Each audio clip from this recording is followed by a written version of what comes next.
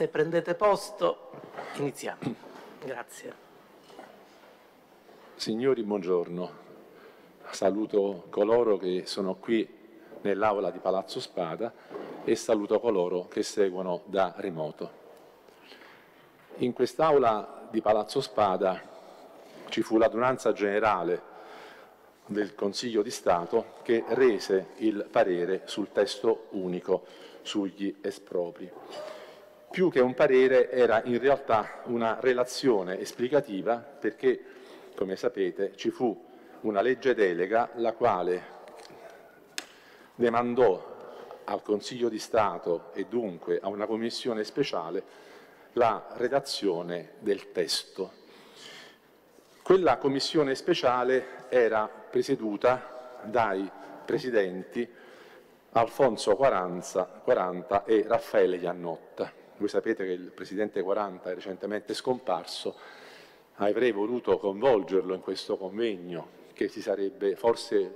potuto e dovuto tenere 15 anni fa, o potuto e dovuto tenere 10 anni fa, o anche 5 anni fa, purtroppo al decorso del ventennio il Presidente 40 non è più tra noi. Già ho avuto modo di dire qualche parola sul Presidente 40 in occasione dell'ultima seduta del Consiglio di Presidenza e non intendo ripetermi, eh, ma lui era un grande giurista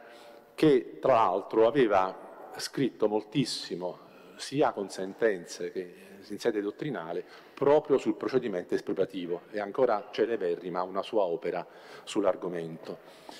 E il Presidente 40 era ben conscio che la redazione di un testo unico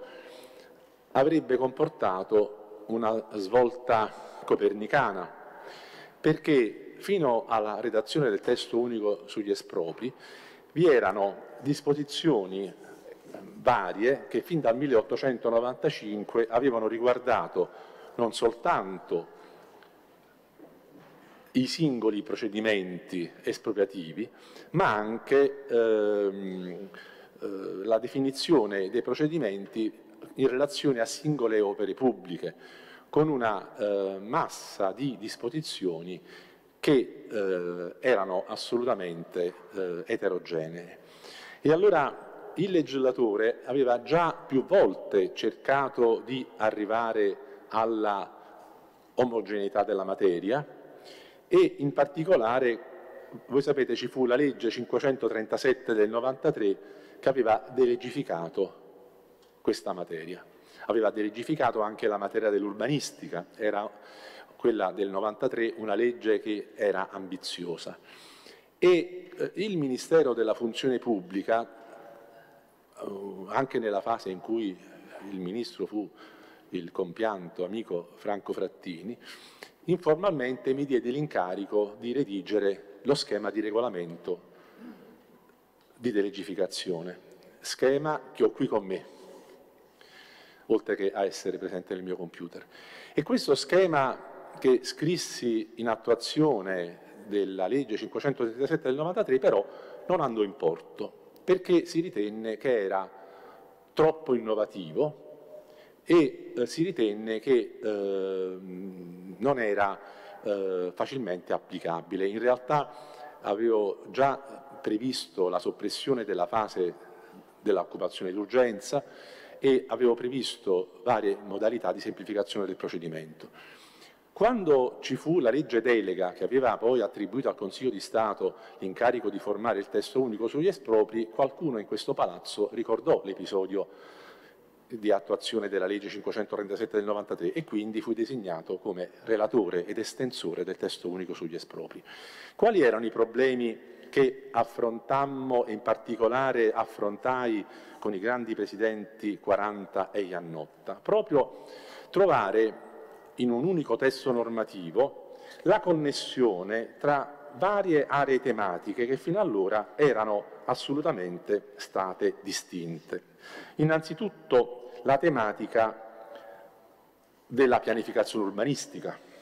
poi la tematica delle connessioni col diritto di proprietà e poi affrontare proprio il procedimento specifico della espropriazione per pubblica utilità. Nel sistema normativo dell'epoca, fino al testo unico, non c'erano norme chiare di raccordo tra questi tre settori. C'era sì una disposizione del codice civile che faceva riferimento alle leggi sugli espropri, ma non vi era alcun raccordo tra l'applicazione urbanistica e il procedimento espropriativo. Su questo profilo credo che il Presidente Greco, da par suo, farà una specifica relazione. E allora,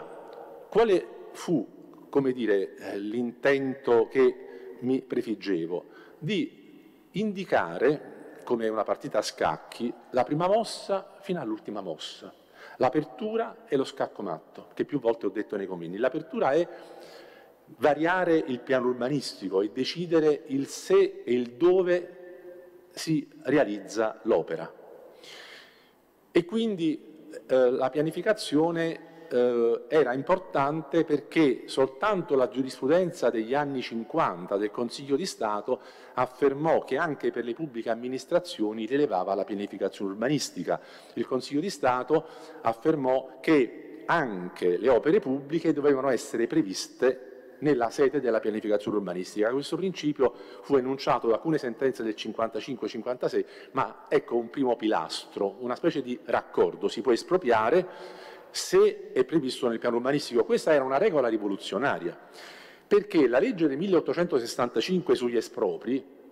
non prevedeva la fase della pianificazione urbanistica. È vero che si prevedevano alcune tipologie di piani, di espansione, eccetera, ma il procedimento, come ben sapete, nella legge del 1865 si scadenzava con la dichiarazione di pubblica utilità e con il decreto d'esproprio. Non c'era nulla che attenesse alla fase della pianificazione, perché la logica qual era? Era la dichiarazione di pubblica utilità di competenza del prefetto che indicava il dove e il se si potesse realizzare l'opera pubblica. E quindi si potrebbe dire che all'interno del procedimento espropriativo, la legge del 1865 prevedeva eh, la ehm, diciamo, necessità di eh, pianificare un'area. Quando sopraggiunge la legge 1150 del 42 non vi è coordinamento con la legge del 1865.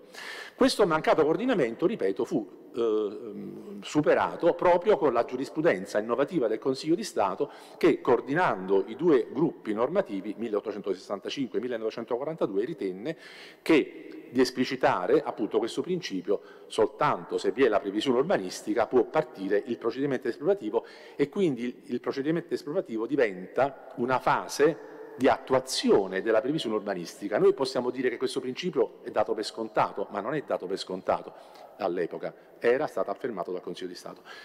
Un altro problema che si era posto nel corso del tempo era il cosa si dovesse intendere per vincolo espropriativo o vincolo preordinato all'espropriazione. Ora noi tutti sappiamo cosa è il vincolo preordinato all'espropriazione, ma un'espressione che ho ritenuto di scrivere nel testo unico sugli espropri, cercando di dare un'etichetta giuridica a una figura che era nata nella giurisprudenza della Corte Costituzionale, perché la prima giurisprudenza della Corte Costituzionale riteneva che la nozione di espropriazione fosse limitata ai casi di ablazione, la proprietà da mia diventa tua. Fu solo la giurisprudenza della Cassazione dei fine anni 50 che allargò la nozione di espropriazione ritenendo che potesse esservi una nozione di espropriazione in senso lato quando la proprietà rimaneva del proprietario ma ci fosse l'assoluta incidenza sulle facoltà giuridiche.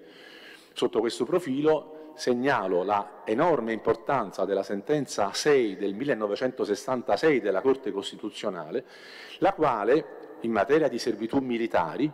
ritenne che dovesse esservi un indennizzo per i casi in cui vi fosse un'incidenza sulla proprietà privata, che rimaneva del proprietario, tale da ridurre o addirittura annientare le facoltà giuridiche. Nella specie si trattava di esercitazioni militari con anche le bombe e il proprietario non poteva neanche utilizzare il suo terreno. La sentenza 6 del 66 ritenne che se anche la proprietà rimaneva del proprietario, una tale incidenza dovesse essere indennizzata. Ecco che la sentenza 6 del 66 è la sentenza madre della famosissima sentenza 55 del 68,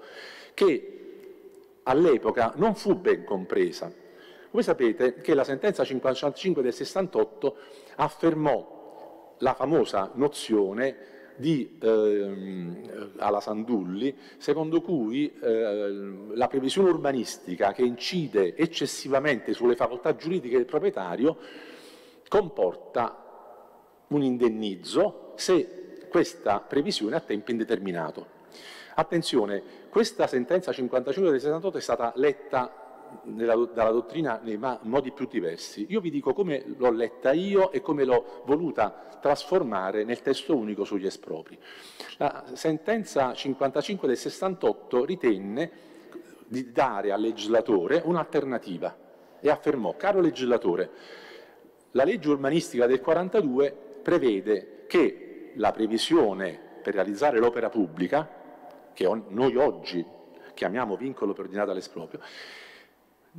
o deve essere a tempo determinato, perché solo così è accettabile l'incidenza sul diritto di proprietà, oppure se a tempo indeterminato deve esservi l'indennizzo. Voi sapete che quindi la sentenza 55 del 68 pose al bivio, un bivio al bivio il legislatore, quindi o si ribadisce che l'articolo 7 della legge urbanistica, e anche gli articoli seguenti, eh, vadano intesi nel senso che se il piano urbanistico prevede l'opera pubblica, il decreto d'esproprio si potrà emanare anche 10, 20, 30 anni dopo e allora deve esserci un indennizzo. Oppure se il piano urbanistico ha una durata determinata nel tempo, allora non c'è bisogno dell'indennizzo. Questa era l'alternativa che affermò la Corte Costituzionale. E la legge 1187 del 68, poche settimane dopo, prese posizione e affermò che quello che noi oggi definiamo vincolo preordinato all'esproprio ha la durata di 5 anni e avendo la durata di 5 anni non andava indennizzato. Allora, come ho inteso e vi chiedo di intendere la sentenza 55 del 68? La regola per, qua, per la quale il procedimento espropriativo deve avere una durata predeterminata ab origine. In altri termini, mettiamoci nell'ottica dell'ordinamento giuridico prima della sentenza 55 del 68.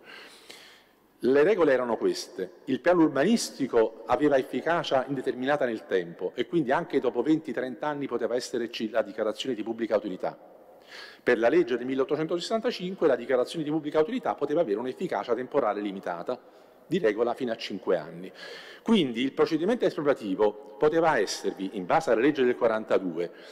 senza limiti di tempo cioè la dichiarazione di pubblica utilità, poteva esservi anche dopo decenni. Su questo la Corte Costituzionale si pose in contraravviso e affermò che tra la previsione urbanistica e la dichiarazione di pubblica utilità deve esserci una durata massima temporale e su questo ci fu la legge del 68 che fissò la regola di 5 anni. Quindi la regola con la legge del 68 divenne questa, e ho esplicitato nel testo unico, la regola del 5 più 5, cioè il vincolo preordinato all'esproprio ha l'efficacia massima di 5 anni, riprendendo la legge del 1968-1187, articolo 2, e nella fase tra le dichiarazioni di pubblica utilità e il decreto d'esproprio, se la legge del 1865 non dava alcune regole, ma erano i prefetti che al massimo prevedevano la dichiarazione di efficacia quinquennale, è stata ora la legge col testo unico che ha fissato la regola secondo cui la dichiarazione di pubblica utilità ha l'efficacia massima di 5 anni. Ecco la regola del 5 più 5, che per le grandi infrastrutture diventa anche 7 più 7, ma voi sapete sono regole speciali. Quindi il testo unico sugli espropri ha voluto eh, ehm, procedimentalizzare rendendo eh, eh certi i tempi dell'azione amministrativa con la regola del 5 più 5. Il piano urbanistico o la sua variante prevede il vincolo per ordinata all'esproprio di durata massima di 5 anni, regola che proviene dalla legge del 1968 in coerenza con la sentenza 55 del 68 e la durata massima della dichiarazione di pubblica utilità è di 5 anni perché questo era il principio affermato nella prassi del Consiglio di Stato secondo cui il, la dichiarazione di pubblica utilità doveva avere questa durata massima di 5 anni. Quindi in altri termini, si potrebbe dire che mentre la legge del 1865 aveva previsto una durata massima del procedimento espropriativo perché prevedeva che tra la dichiarazione di pubblica utilità e il decreto d'esproprio vi era una durata massima del procedimento pre prevista dalla stessa dichiarazione di pubblica utilità, La certezza dei tempi si perse con la legge urbanistica. La certezza dei tempi si perse con la legge urbanistica, perché in base alla legge urbanistica del 42 la previsione del piano regolatore poteva essere attuata anche dopo 20-40 anni con la dichiarazione di pubblica utilità. Il testo unico è tornato all'antico, è tornato alla regola della certezza dei tempi, cioè quella per la, per la quale vi è la durata massima di cinque anni della fase tra, tra vincolo preordinato all'esproprio e dichiarazione di pubblica utilità e altri cinque anni tra la dichiarazione di pubblica utilità e decreto d'esproprio. Quindi è stato un testo unico ambizioso sotto questo profilo e vi devo dire che il Presidente Iannotta e il Presidente 40 mi appoggiarono naturalmente in questa operazione che era abbastanza ardita perché alcuni componenti della commissione speciale e anche in questa adunanza generale, io vedo qui il Presidente Mastrandrea che potrà testimoniare eh, cosa accadde quel 27 marzo del 2001, credo che sia l'unico presente che può testimoniare cosa accadde, io ebbi molti attacchi da parte dei colleghi, molti attacchi. Tanto è vero che alla fine della discussione il Presidente 40 disse o si fa come ha detto il, il consigliere Maruotti oppure il testo unico non può essere approvato. Perché? Perché tra le altre disposizioni che furono oggetto di contestazione c'era l'articolo 39 e l'allora articolo 43 che in quella adunanza generale furono interpretati, mh, forse insomma, avrei dovuto meglio scrivere la relazione, ma insomma eh, penso che parlano da soli questi articoli. L'articolo 39 riguarda la reiterazione del vincolo per ordinata all'esproprio. L'articolo 43, poi sapete dichiarato incostituzionale per eccesso di delega e poi sostituito dall'articolo 42 bis, ha voluto dare una legale via di fuga alle migliaia di casi in cui dalla fisiologia dell'azione amministrativa si passa all'azione patologica, alla condotta patologica, cioè dell'occupazione sine titolo. Vedete, a fini didattici,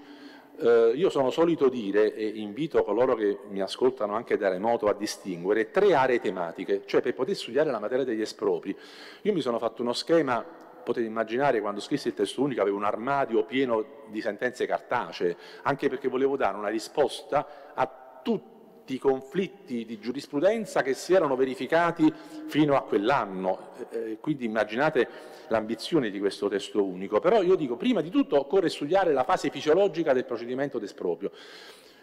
Molti mi chiedevano nei convegni, nel corso di lezioni, ma come si fa a espropriare un bene? E vai a rispondere nel quadro normativo anteriore al 2001. E allora, a furia di cercare di dare risposte, mi ero reso conto che il nodo del problema era raccordare, e su questo parlerà il Presidente Greco, raccordare la previsione urbanistica col procedimento espropriativo, perché solo così, tra l'altro col problema della legge delega, perché la legge delega prevedeva che ci fosse il testo unico in materia di espropri senza la parola urbanistica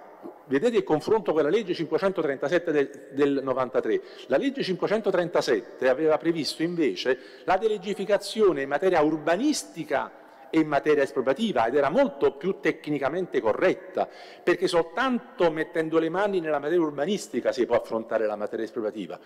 Purtroppo c'era un deficit nella legge delega che ha portato al testo unico sugli espropri, si prevedeva che la eh, redazione del testo unico dovesse riguardare soltanto la materia espropriativa, io proposi in commissione ai presidenti 40 e Iannotta di scrivere anche sull'urbanistica loro mi dissero ci hai convinto, tratta anche la materia urbanistica con i vincoli preordinati all'esproprio.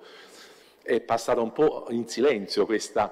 eh, redazione del testo unico in sospetto eccesso di delega, questo sì, perché abbiamo inteso la materia espropriativa come riconnessa alla fase preliminare del vincolo che attiene alla materia urbanistica.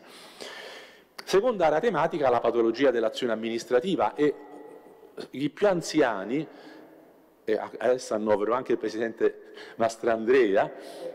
e anche il Presidente Cirillo, eh, ricorderanno che in quegli anni vi erano che dico centinaia, migliaia di casi di patologia dell'azione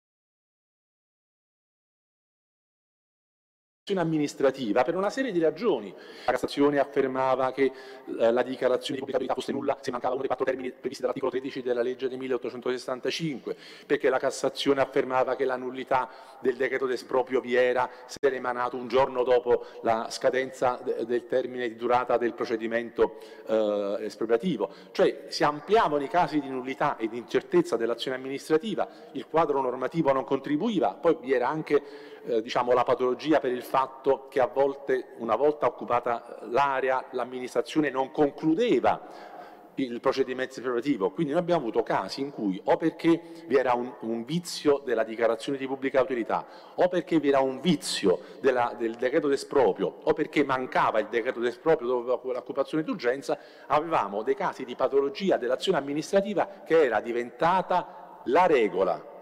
era diventata la regola e si sappia che era diventata la regola perché conveniva a tutti, perché nel frattempo la disciplina sul sulla indennità di espropriazione era stata modificata a tal punto che era arrivata al 30% del valore del bene. Quindi per avere meno opposizioni dei proprietari, le amministrazioni conniventi negligenti non concludevano il procedimento oppure lo concludevano tardivamente e c'era una tacita intesa per cui alla fine sarebbe spettato, in base alla giurisprudenza della Cassazione, un risarcimento del danno pari al controvalore e di conseguenza non si pagava quel 30% del valore ma il 100% del valore. Quindi ecco, immaginate anche il baratro per le casse pubbliche, perché le leggi prevedevano un determinato importo per le indennità di espropri e invece poi alla fine davanti ai giudici civili si arrivava ad attribuire il controvalore del bene eh, ai sensi dell'articolo 2043. E tanto per descrivere la drammaticità del quadro normativo, voi sapete che poi sopraggiunse il decreto legge 333 del 92 che eh, equiparò il risarcimento del danno alla, eh, diciamo, alla quantificazione dell'indennità di espropriazione, col famoso articolo 5 bis che più volte andò all'esame della Corte Costituzionale. E cosa accade e cosa fu discusso in questa adunanza generale quel 27 marzo 2001? Un quadro normativo nel quale c'erano non soltanto nella prassi patologie dell'azione amministrativa che erano oramai la regola. Chi vedeva più un decreto d'esproprio? Chi lo vedeva più? Perché conveniva a tutti la patologia, visto che poi si liquidava il risarcimento del danno, sicché poi ecco che la Cassazione aveva elaborato la famosa tesi, la famosa eh, categoria nel 1983 con la sentenza 1464 estensore bile, elaborò l'occupazione appropriativa, occupazione appropriativa che in questo palazzo non fu accettata. Io ricordo una mia sentenza con il Presidente Paleologo del 97 che disse che l'occupazione appropriativa era in contrasto con l'articolo 42 della Costituzione,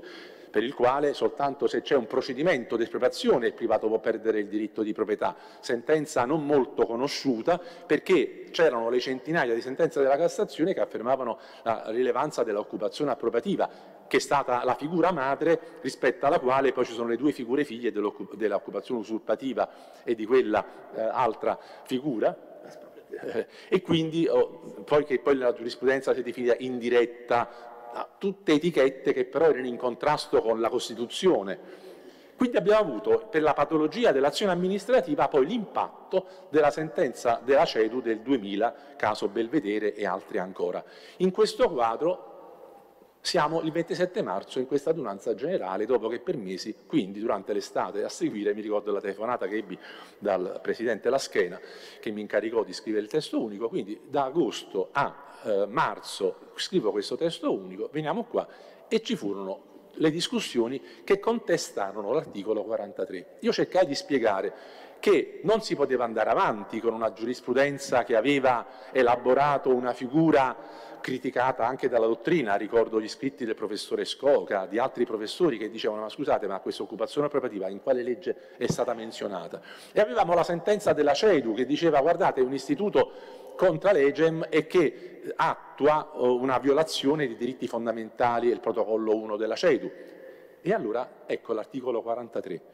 che voleva essere ed è stato fino alla dichiarazione di incostituzionalità e alla sua sostituzione con l'articolo 42 bis, la chiave di volta del sistema. Una chiave di volta che vuol dire che quando vi è la patologia dell'azione amministrativa nulla di drammatico succede, cioè una legale via d'uscita, naturalmente al privato va dato il ristoro che spetta perché effettivamente è stato commesso un illecito.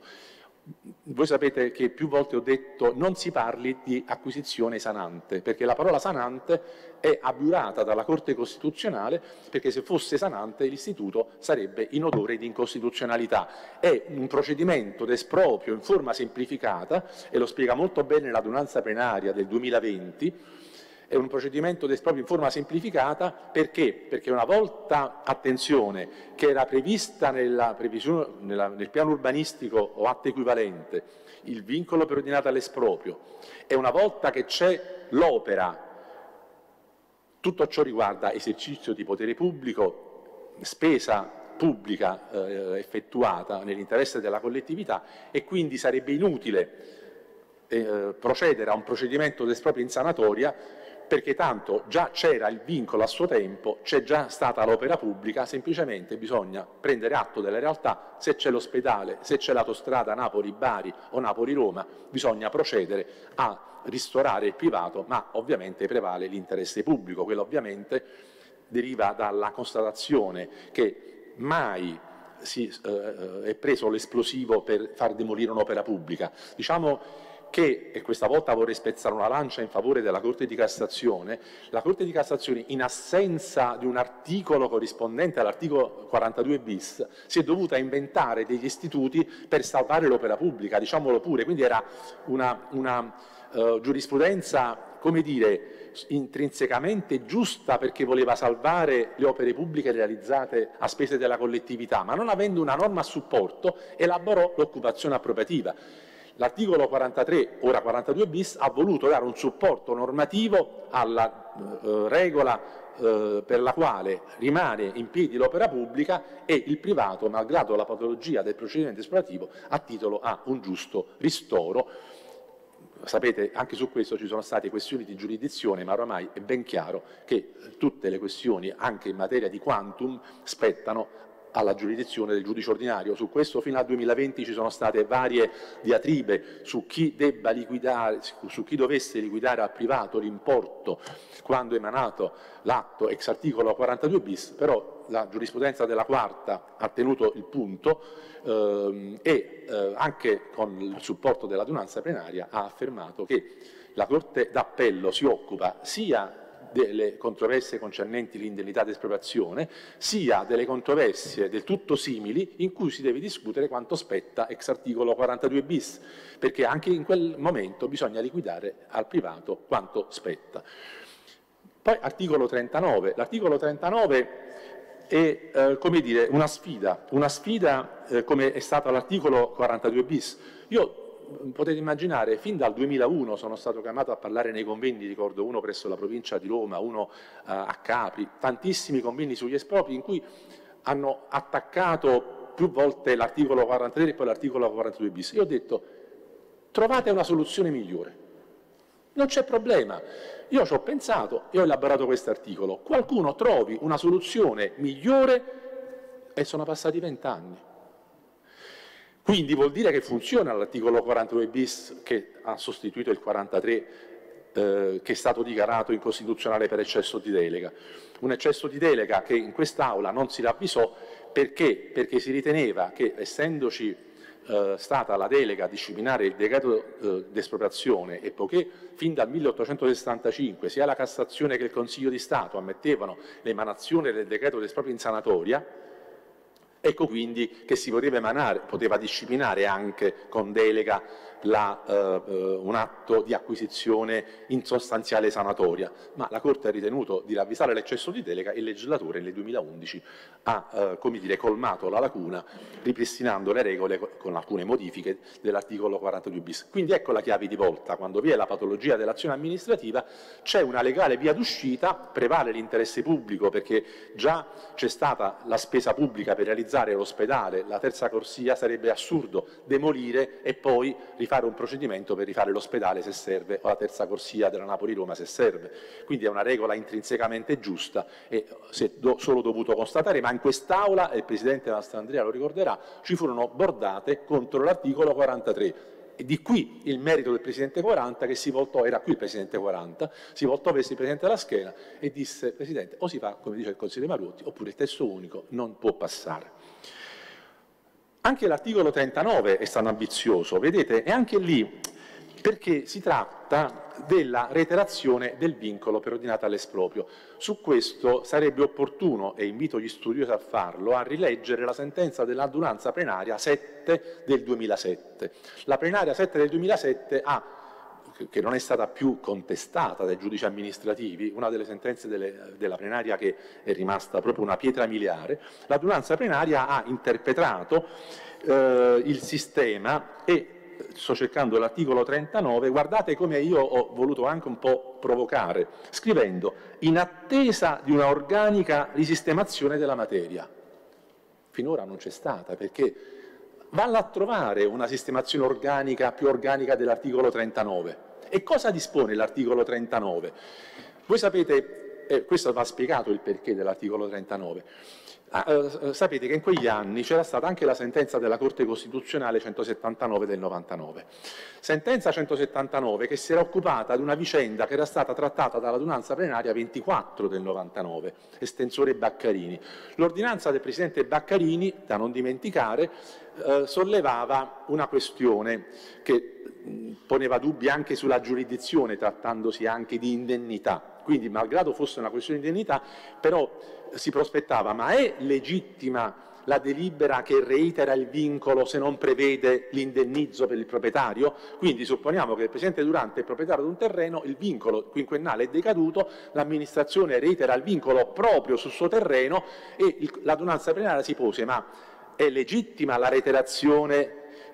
senza prevedere l'indennizzo? E la Corte Costituzionale dà una risposta un po' aperta, dice veditela tu, tutto sommato, giudice amministrativo. L'importante è che non ci sia una eh, eccessiva compressione del diritto di proprietà. Beh, tutto sommato è una sentenza eh, scritta dal Presidente Chieppa in modo molto mirabile, in punta di penna,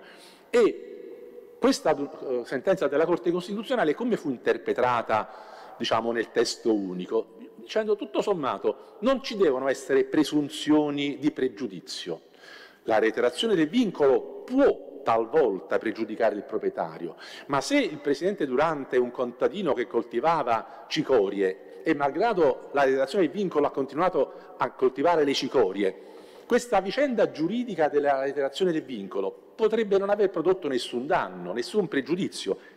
Ecco l'articolo 39 che prevede la procedimentalizzazione della spettanza dell'indennizzo, cioè il contadino avrà l'onere, se c'è la reiterazione, di formulare un'istanza all'amministrazione, l'amministrazione valuterà se c'è un danno e se c'è la controversia si va al giudice ordinario, ma presumere la spettanza di un indennizzo per il solo fatto che c'è la reiterazione del vincolo, questo non poteva esservi nel testo unico. Vi segnalo cosa propose al Presidente 40. Io dissi al Presidente 40, feci l'esempio del contadino e delle cicorie,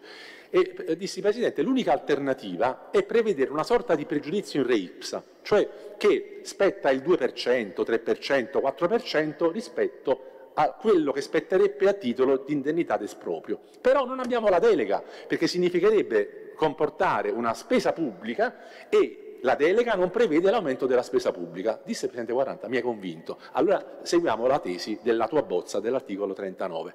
Questo per dirvi che ci facemmo carico della questione perché? Perché in quegli anni, dopo la sentenza della Corte Costituzionale 179 del 99, proliferarono e non vedo giudici civili ma potrebbero confermarlo, proliferarono azioni davanti ai giudici civili in cui in ogni caso di reazione del vincolo i proprietari volevano una somma di denaro tutti, perché si era sparsa la voce per cui nel caso di reiterazione del vincolo occorreva comunque, spettava comunque l'indennizzo, anche perché c'erano alcune sentenze dei giudici amministrativi, attenzione, e su questo la plenaria 7 del 2007 andò in contrario avviso, c'erano sentenze dei giudici amministrativi secondo le quali era illegittimo l'atto di reiterazione del vincolo che non prevedeva la spesa, cioè l'indennizzo a favore del privato. Io dissi al Presidente 40 in occasione del testo unico e al Presidente Paolo Salvatore in occasione della sentenza 7 del 2007, ma l'amministrazione che ne sa quando reitera il vincolo quanto può spettare al contadino? Cioè è illegittimo un atto che reitera il vincolo perché che, ne, che deve eh, stanziare mille lire, un euro? Che ne sa cosa può spettare? Ecco che l'atto è legittimo di reiterazione del vincolo ovviamente purché motivato, il problema della motivazione eh, eh, riguarda la legittimità del provvedimento, ma quanto alla spettanza dell'indennizzo, non spetta l'indennizzo per il solo fatto che ritirate il vincolo, perché se coltivavi cicorie potevi continuare a coltivare cicorie e se hai avuto un pregiudizio perché non hai potuto vendere il terreno, allora hai l'onere di formulare l'istanza all'amministrazione, ma l'atto che reitera il vincolo non va di per sé assolutamente accompagnato dalla previsione del vincolo, dell'indennizzo. Mi ricorda un'altra discussione che portò a una sentenza della quarta sezione importantissima del 1994 della quarta sezione, eh, società Alicentro contro allora Comune di Roma, Presidente Pezzana, io estensore, e vi devo dire che quella, forse la sentenza 159 del 94, che ha fatto nascere la distinzione tra vincoli conformativi e vincoli espropriativi. Voi tutti vi sarete chiesti, ma questa distinzione quando è nata? La distinzione è nata proprio perché ci fu un ricorso deciso dalla quarta sezione con la presidenza Pezzana e proprio perché in quegli anni si era sparsa la voce che ogni volta che vi era una reiterazione di vincolo spettava l'indennizzo, era la questione sollevata appunto all'esame della, della quarta sezione e ricordo, e ho ancora a caso, una lettera personale del Presidente Pezzana che mi disse ma ti rendi conto dell'importanza della questione che stiamo trattando? Eh, perché io avevo mandato la bozza di sentenza affrontando la tematica della distinzione tra vincoli conformativi e vincoli espropriativi e dicendo che appunto mh, eh, se vi era la reiterazione, perché il problema della società di centro contro il Comune di Roma era la società si lamentava della mancata aspettanza di un indennizzo nel caso di reiterazione del vincolo e noi dicemmo che non era di per sé espropriativo la, la, la, reiterazione se era la prima volta e non spettava necessariamente l'indennizzo. Quindi immaginate la questione nasceva da lontano. Sentenza società Alicentro contro il Comune di Roma, che però fu seguita in altri casi che, che riguardava lo stesso eh, piano regolatore di Roma, altri ricorsi che poi andarono in adunanza plenaria, la 24 del 99 che poi andò in Corte Costituzionale. Eh, ricostruiamo così il quadro. Quindi sul eh, piano regolatore di Roma che aveva reiterato in blocco i vincoli preordinati all'esproprio oramai scaduti, ci furono tantissimi ricorsi. Uno fu deciso con la sentenza di direzione, la 159 del 94 della quarta sezione. Altri, dopo altre reiezioni, eh, andarono in adunanza plenaria e l'adunanza plenaria rimise la, la Corte Costituzionale che affermò quei principi con la sentenza 179 del 99 dicendo giudice amministrativo, veditela tu, cioè se proprio eccessiva questa incidenza sul diritto di proprietà, vedi un po' se spetta l'indennizzo, altrimenti spetta la legge dare una soluzione. Ecco l'articolo 39. L'articolo 39 che ha voluto procedimentalizzare la questione in, con l'incipit in attesa di una organica risistemazione della materia, ma probabilmente è già organica questa sistemazione della materia di cui al testo unico, perché non mi risulta neppure che ci sia mai stato un progetto di legge volto a modificare l'articolo 39. Io mi sono preso molto tempo, soltanto concludo quindi eh, invitando eh, la gioventù che vuole studiare questa materia a distinguere quindi tre aree tematiche. Il procedimento nella sua fisiologia, la patologia dell'azione amministrativa dando rilevanza all'articolo 42 bis e l'indennità d'espropriazione.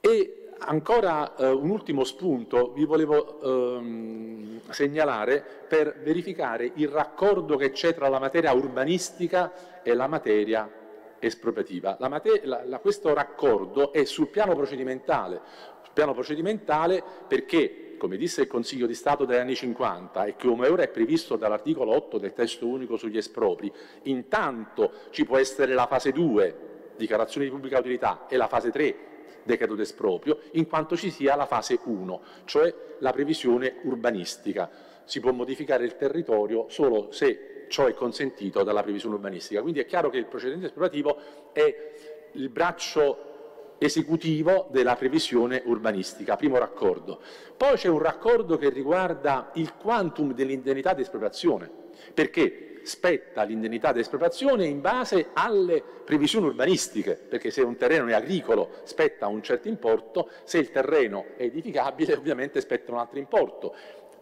Si aprirebbe un, altro baratro, che però non voglio aprire con voi, che riguarda la rilevanza dei vincoli, la rilevanza dei vincoli, vincoli idrogeologici, paesaggistici, archeologici, cimiteriali, aeronautici, immaginate tutti i vincoli. E quindi anche eh, come va considerato il valore del terreno. E allora per incidence non posso non ricordare un'altra vicenda che fu posta all'esame del Consiglio di Stato, perché l'articolo 5 bis della legge eh, di conversione del decreto legge 333 del 92 aveva previsto la delegificazione per individuare i criteri per la determinazione dell'indennità d'espropriazione perché si voleva delimitare la discrezionalità delle corti d'appello. L'articolo 5 bis aveva previsto quindi una delegificazione e ci fu uno schema di regolamento redatto dal Consiglio di Stato che poi però non fu seguito da alcun DPR. Questo regolamento, questo, è stata nominata una commissione speciale che era presieduta dal presidente Brignola, ne faceva parte l'attuale presidente Lignani, il presidente Baccarini, Gennaro Ferrari, Giuseppe Farina, Giuseppe Severini, Luigi Maruotti, Pasquale Landi e Alessandro Botto. E all'esito di questi lavori della commissione speciale fu elaborato lo schema di eh, regolamento attuativo che però appunto non fu seguito dal eh, regolamento eh, formale. E perché? Perché evidentemente erano regole che indicavano con assoluta precisione eh, come potessi rilevare il vincolo paesaggistico e tutti gli altri vincoli, eccetera. Infatti attualmente le corti d'appello hanno questi problemi. Mm, ma mm, ecco perché ne parlo? Perché anche in quel momento l'adunanza generale nel 97 espresse questo parere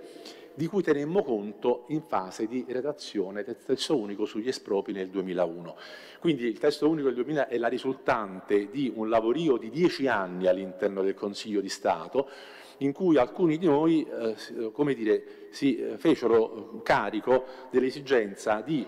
eh, scrivere in meno di 60 articoli un articolato che invece era composto da centinaia di leggi e basta vedere l'ultimo articolo del testo unico dove c'è un elenco chilometrico di leggi precedenti che in tutto in parte sono state abrogate. Si è trattato di una tecnica eh, di legislazione molto particolare perché come sapete alcuni commi sono con la lettera L, altri commi sono con la lettera R perché eh, le leggi di delega degli anni 90, come è avvenuto anche per il testo unico sull'edilizia, demandarono eh, al legislatore e quindi anche al Consiglio di Stato di indicare il rango del singolo comma. Quindi abbiamo nello stesso articolo commi di rango L e commi di rango R. Se voi mi doveste chiedere ma perché nel testo unico a volte c'è la L, a volte c'è la R, vi dico che fu l'ultima operazione che feci, il giorno prima dell'adunanza generale, a fine marzo 2001 misi a mettere a volte la L, a volte la R, secondo i miei criteri, perché era l'ultima questione, cioè praticamente uh, il criterio è questo, regole sostanziali L, regole procedimentali R. Questa è la spiegazione terra-terra del perché i commi hanno la lettera L o la lettera R. Io vi ringrazio dell'attenzione, ma ho voluto dare una testimonianza che resti a futura memoria di quelli che sono stati i lavori e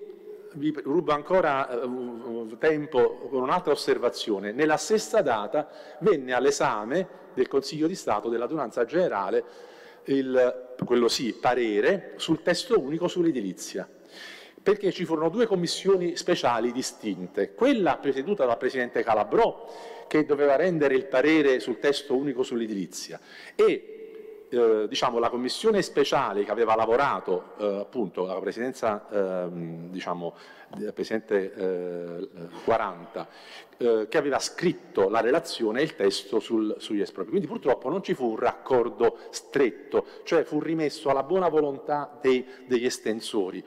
E la mattina cominciarono i lavori sul testo unico sull'edilizia e durante la discussione eh, ovviamente io feci molte obiezioni non so se lo ricorderà Gerardo, mi fece molte obiezioni perché c'erano norme contrastanti, in dissonanza, tra cui anche l'articolo 9 del testo unico sull'edilizia. L'articolo 9, per come era stato scritto, era in frontale contrasto con il testo unico sugli espropri perché eh, disciplinava diversamente i piani urbanistici e i piani attuativi. Ricordo che il presidente Calabrò fece come nelle partite di pallacanestro, mise la mano così, non so se eh, ricordate, eh, mise eh, diciamo, il dito sotto il palmo della mano e chiese la sospensione dei lavori, che proseguirono il pomeriggio. Il pomeriggio quindi, perché ci fu la riunione della, della, commissione speciale, io ne feci parte perché individuai quelle criticità, e il pomeriggio, eh, quindi nell'arco di mezza giornata, si riuscirono a trovare quelle disposizioni di raccordo per cui vedrete che anche l'articolo 9 del testo unico sull'edilizia è molto importante per ricostruire la normativa in materia espropriativa. Non vado in dettaglio, ma basterà una lettura congiunta di quest'articolo 9 per rendervi conto che sotto vari profili bisogna avere un quadro unitario della materia, perché eh, se la materia urbanistica nel senso etimologico significava soltanto previsioni eh, e modifica del territorio, in realtà poi ha avuto vari significati e l'espropriazione non è altro che uno eh, dei modi eh, con cui dare attuazione alle previsioni urbanistiche. E allora eh, spero che si possano ricordare ancora le grandi figure che hanno caratterizzato il Consiglio di Stato, il Presidente Quaranta, il Presidente Iannotta, il Presidente Brignola, che a loro volta ci parlavano dei loro maestri, che a loro volta ci parlavano dei loro maestri. Il testo unico sugli espropri è la risultante del lavorio di tutti i consiglieri di Stato e poi anche dei consiglieri TAR che hanno lavorato dagli anni 70, che hanno cercato di dare un assetto razionale a una materia che era magmatica, in cui le leggi sopravvenivano senza tenere conto di quelle precedenti. Invece un testo unico doveva unificare le previsioni della legge del 1865, tutte le leggi successive, le leggi urbanistiche, la materia eh, anche del diritto europeo che nel frattempo si era affermato, quindi la Convenzione europea del 1950, cercare di evitare quelle deviazioni dalle regole che erano state nella prassi con l'occupazione appropriativa, usurpativa, espropriazione indiretta, espropriazione di fatto, figure che ci portarono di fronte alla condanna sistematica. E ricordo però un eh, comitato dei ministri del Consiglio d'Europa che quando fu posto all'esame eh, la normativa italiana del testo unico con l'articolo 43 e con l'articolo 42, Consiglio d'Europa che ha dato il suo welcoming, il suo benvenuto alla normativa europea, eh, la normativa del testo unico che si è conformata al diritto europeo, quindi almeno sotto questo profilo ci siamo risparmiati altre spirali di sentenze di condanna che invece negli anni iniziali del 2000 erano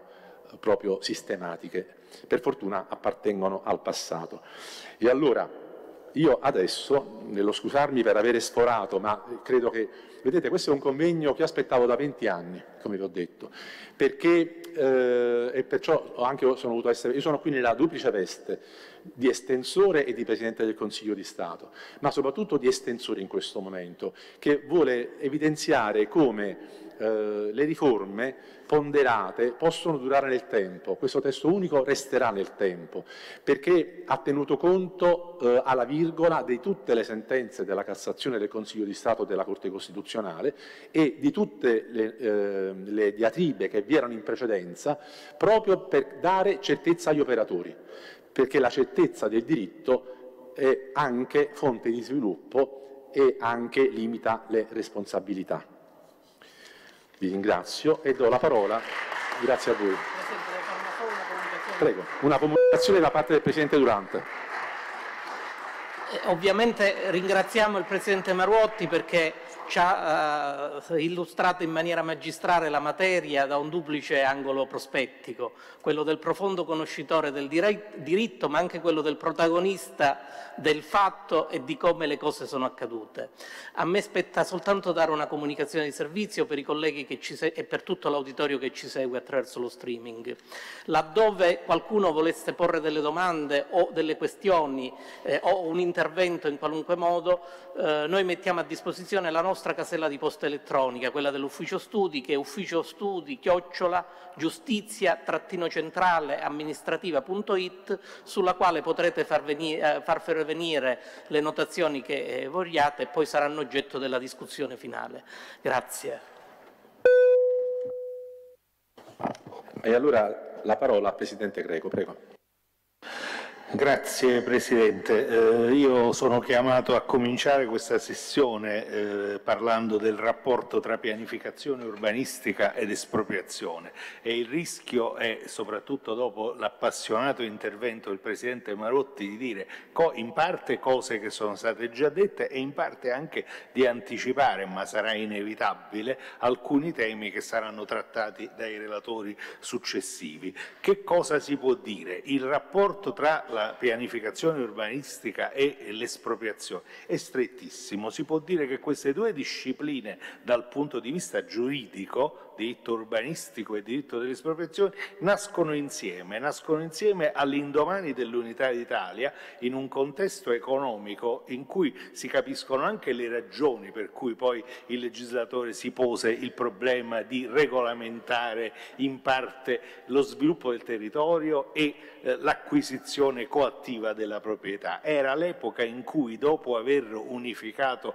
politicamente l'Italia occorreva unificarla anche sul piano piano economico e sociale. E ricordiamo la, eh, il vasto programma di infrastrutturazione della destra liberale, le ferrovie che servivano a raccordare un mezzogiorno ancora depresso e poi più avanti con Giolitti e con la sinistra eh, il problema dei latifondi soprattutto nel mezzogiorno da liquidare che poi ci siamo trascinati fino al dopoguerra, eh, dopo, eh, agli, agli anni 50. Da un punto di vista quindi economico e sociale, se poi guardiamo soprattutto alla legge 1150 e ancora di più a come sono stati utilizzati dal legislatore eh, gli strumenti delle norme urbanistiche e delle espropriazioni, eh, si può dire che si è trattato di, al, almeno in una fase storica, forse non più oggi, di alcuni fra gli strumenti principali per realizzare le politiche economiche e sociali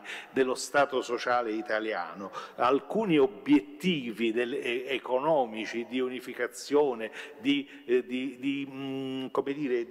eh, di, intervento dello Stato nell'economia, soprattutto dopo che l'articolo la, 42 della Costituzione aveva declinato il diritto di proprietà dal punto di vista della sua funzione sociale, si sono valsi di queste normative. Eh, quindi scelte di estrema rilevanza per le, lo sviluppo del Paese nel suo complesso. Eh, quindi questo per dire che il rapporto eh, tra eh, pianificazione urbanistica e espropriazione non si esaurisce nel problema pur importante dei vincoli preordinati all'esproprio.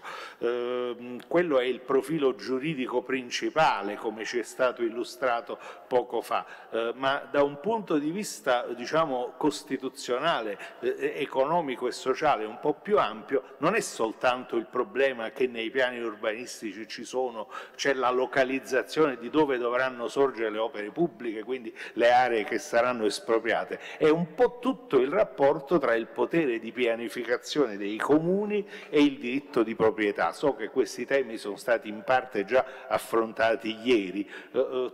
tutta eh, il potere del comune di conformare lo statuto del diritto di proprietà eh, attraverso anche eh, previsioni, piani di piano che non hanno natura ablatoria, espropriativa. Eh, eh, sappiamo che la Corte Costituzionale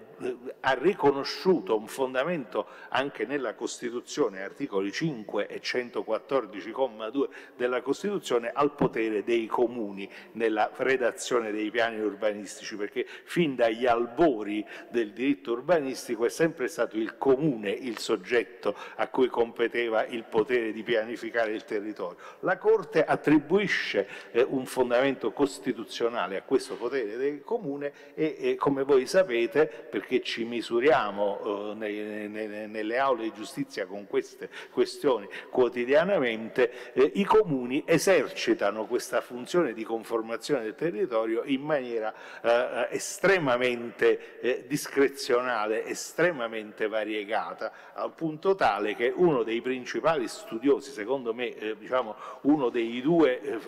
eh, fondamentali studiosi di questa materia in Italia, che è Paolo Stella Richter, dice due cose, che probabilmente la materia urbanistica è quella dove si rileva il più alto tasso di discrezionalità tecnica amministrativa rispetto ad altri settori dell'amministrazione. E sappiamo tutti perché lo sperimentiamo eh, eh, la giurisprudenza sulla motivazione dei piani, in, entro quali limiti il privato può contestare le scelte che lo pregiudicano, entro quali limiti il giudice può sindacare quelle scelte, sono limiti estremamente ristretti e infatti Stella Richter dice anche un'altra cosa, che il diritto urbanistico è per sua natura un diritto discriminatorio e ingiusto, ma è discriminatorio in un duplice senso, non soltanto perché cioè, appunto discrimina tra i proprietari, perché ci sarà quello che ha la sua area resa edificabile e quello che ha invece il vincolo preordinato all'esproprio e questa è la forma di discriminazione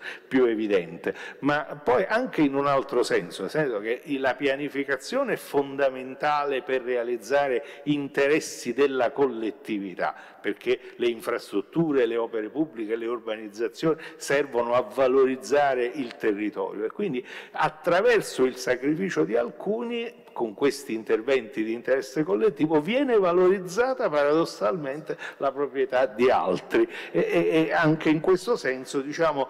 eh, una, sono scelte che per loro natura comportano vantaggi e sacrifici che possono essere distribuiti in maniera iniqua oggettivamente. Eh, abbiamo letto nella brochure di questo incontro di studi che con il testo unico degli espropri del 2001 abbiamo sentito la ricostruzione di come questo testo unico è il precipitato di tutto un lavorio della dottrina, della giurisprudenza e ahimè anche dei legislatori di decenni successivi, si è realizzata una una stabilità ormai normativa della materia. Questo in parte è esatto e in parte è inesatto. Sicuramente è esatto per quanto riguarda le procedure di esproprio in senso stretto, anche se questa stabilità a mio avviso dipende anche dal fatto che è proprio lo strumento dell'esproprio oggi a segnare un po' il passo come modalità di intervento eh, dell'amministrazione nel territorio, perché come dirò alla fine nascono modalità alternative proprio per ovviare a quegli effetti sperequativi e discriminatori. Ma se guardiamo dal versante della pianificazione, quindi dell'urbanistica, non c'è nessuna stabilità. Eh, il Presidente Marotti ci ha detto che la delega sul testo unico non comprendeva l'urbanistica. Eh, il eh, testo unico si fece carico di intervenire ugualmente eh, nella materia urbanistica per la parte relativa ai vincoli preordinati all'esproprio, ma se noi guardiamo la normativa normativa sulla pianificazione del territorio in generale è ancora adesso una materia magmatica, confusa. E ancora adesso abbiamo il ceppo della legge 1150 del 1942 e se noi pensiamo che eh, il mondo è cambiato rispetto a quell'impianto, eh, basti pensare che abbiamo il titolo quinto della Costituzione riformato e abbiamo una competenza concorrente di regioni e eh, Stato nella disciplina, nella legislazione del governo del territorio, lato senso inteso, già questo fa emergere una serie di criticità. Ve ne dico una. Il testo unico degli espropri, così come il testo unico dell'edilizia sono assolutamente coevi alla riforma del titolo quinto della Costituzione, che è del 2001, e tuttavia sostanzialmente eh, in base all'articolo 117, comma terzo, eh, come modificato dalla legge costituzionale del 2001, lo Stato dovrebbe dettare i principi fondamentali della materia e spetterebbe alle regioni per, in, in, muoversi con la propria potestà legislativa nell'ambito di quei principi. E però nel testo unico quei principi fondamentali possono essere ricavati solo per via interpretativa, non c'è una indicazione specifica e chiara, spetta alla giurisprudenza, spetta ai contenziosi che poi approdano davanti alla Corte Costituzionale capire quali sono questi principi eh, fondamentali e già questo fa capire diciamo, eh, com, diciamo, eh, come è confusa e come necessiterebbe di un intervento chiarificatore del legislatore questa materia. Io cercherò di fare un quadro molto rapido eh, storico e giuridico dei rapporti tra pianificazione e, e, e espropriazione, però posso anticipare già da adesso le conclusioni. Diciamo che, come vi ho detto un attimo fa, il tradizionale strumento dell'esproprio entra un po' in crisi come modalità tipica per l'urbanizzazione e l'infrastrutturazione dei territori, per una serie di ragioni che poi vi dirò. Eh, al tempo stesso, proprio a livello della pianificazione urbanistica, si affermano tutta una serie di altre modalità. Eh, il professor Perongini ci parlerà della eh, perequazione urbanistica su cui ci siamo esercitati in quarta sezione eh, fin dal 2010 sul eh, piano, nuovo piano regolatore di Roma Roma, eh, ma perché? Perché eh, oggi la funzione dell'urbanistica non è più soltanto quella di regolare l'attività edilizia e di eh, dire, individuare le aree di localizzazione delle opere pubbliche. La dottrina oggi parla di un'urbanistica degli interessi differenziati e mi riferisco non solo a quei interessi che si sono sovrapposti, diceva il Presidente Marotti, il vincolo paesaggistico, il vincolo idrogeologico, il vincolo civile, cimiteriale, vincolo, tutta una serie di discipline di settori che si intrecciano, ma anche perché oggi eh, si parla anche sotto la spinta delle emergenze climatiche delle, delle, convenzioni europee di eh, intervento sul territorio eh, com, per perseguire obiettivi diversi di green economy, di sviluppo sostenibile, di contenimento del consumo di suolo. Quindi emergono a livello dell'economia e della società una serie serie di esigenze nuove e diverse e tuttavia gli strumenti normativi di cui, che, di cui abbiamo la disponibilità sono più o meno sempre gli stessi di 30, 40 e 50 anni fa. Eh, ecco perché eh, poi nascono una serie di istituti nella eh, legislazione regionale e vi ho detto quali sono le criticità che si possono porre, ma poi nascono addirittura nelle scienze extragiuridiche, sono gli architetti, sono gli urbanisti che nell'elaborazione definizione dei piani regolatori si inventano una serie di soluzioni di cui noi poi dobbiamo saggiare eh, la sostenibilità anche da un punto di vista dei principi e delle norme. Allora, detto questo, sul piano della ricostruzione storica molto è stato già detto e quindi posso andare veloce. L'urbanistica nel senso moderno nasce, come vi ho detto, con, nasce proprio con la legge 2359 del 1865, il testo unico degli espropri. Perché dico in senso moderno? Perché in quella norma si trova, non per la prima volta, però per la prima volta nel senso moderno, la menzione dei piani regolatori. L'articolo 86 della legge fondamentale degli espropri del 1865 eh, eh, dava facoltà ai comuni con popolazione superiore a 10.000 abitanti di dotarsi di piani regolatori eh, ehm, per la ricostruzione distruzione, diceva il legislatore, di quella parte dell'abitato in cui sia da rimediare alla viziosa disposizione degli edifici. Sostanzialmente fino a quel momento eh, eh, esisteva come principale strumento di governo del territorio comunale il regolamento edilizio, disciplinato dalla legge 2248 allegato A del 1865, ma quello era uno strumento fondamentalmente di governo dell'attività edilizia. Era un regolamento che dice, che dice, ed è quello che ancora oggi troviamo diciamo, accanto al piano regolatore, le regole da rispettare, le distanze, le altezze, eh, diciamo, come si deve costruire, i volumi, se vogliamo. Il piano regolatore in senso moderno ha una funzione ulteriore, non soltanto porre una serie di regole, ma anche, come dicono alcuni studiosi, prevedere il futuro, cioè pre, pre, prefigurare come si svilupperà eh, l'area urbana eh, diciamo, eh, in un lasso di tempo più o meno indefinito del futuro. Il germe di questo lo troviamo in quella norma che vi ho detto della legge fondamentale sugli espropri, eh, anche se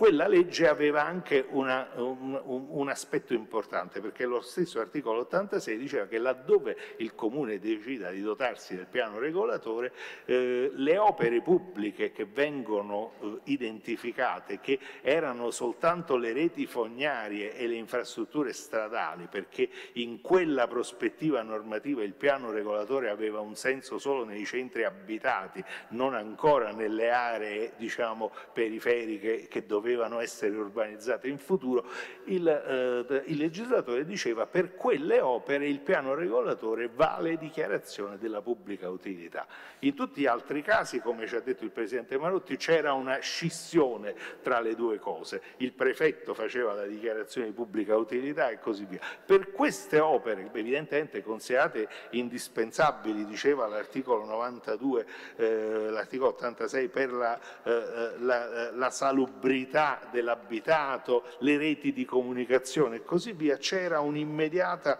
eh, eh, dichiarazione di pubblica utilità. Questa immedesimazione scompare con la legge del 1942. Sapete, nella legge del 1942 l'impianto è diverso, c'è una visione di gerarchia tra i piani, ci sono i piani sovracomunali, c'è il piano regolatore comunale che ha la sua funzione centrale che è quella di localizzare le opere pubbliche imprimendo i vincoli espropriativi e spetterà ai piani attuativi sottordinati, i piani particolareggiati come li chiamava il legislatore 42, eh, contenere le dichiarazioni di pubblica utilità. Quindi c'è questa scissione, Al allo strumento urbanistico generale spetta l'imposizione del vincolo, al, eh, ai piani attuativi l'avvio delle procedure di esproprio attraverso le dichiarazioni di pubblica utilità. Questa opzione normativa originaria immediatamente incontrò un primo problema, poi incontrò tutta una serie di altri problemi che ne hanno determinato sostanzialmente non il fallimento, ma che insomma non ha funzionato come il legislatore del 42 si aspettava. Ma il primo problema, ne ha parlato il Presidente Marotti e quindi su questo posso andare molto rapido, era il vulnus al diritto di proprietà. Nel, eh, abbiamo sentito nella legge del 42 il eh, piano regolatore aveva una eh, diciamo, durata a tempo indeterminato. Questo portò negli anni 60 alle sentenze della Corte Costituzionale di cui abbiamo sentito menzione, in cui sostanzialmente il principio della validità a tempo indeterminato non veniva toccato, ma veniva toccato il vincolo espropriativo, che non poteva avere una validità a tempo indeterminato, eh, eh, ma doveva in qualche modo eh, misurarsi diciamo, con il vulnus che arrecava alla proprietà. Ecco che da questi interventi della Corte nascono una serie di effetti a cascata con cui ancora ci misuriamo adesso. Nasce la distinzione tra vincoli espropriativi e vincoli conformativi e tutta la giurisprudenza che si misura col fatto che è molto chiara sul piano teorico la differenza tra queste due tipologie di vincoli, ma poi andare a vedere nel concreto quando un vincolo è a contenuto espropriativo, basti pensare ai quintali di sentenze che ci sono sul vincolo a verde verde pubblico, verde attrezzato, verde di, di qualsiasi altra maniera, eh, eh, finendo per dire, non voglio sconfinare in temi che qualcun altro tratterà, che poi bisogna andare a vedere vol, probabilmente volta per volta che cosa dice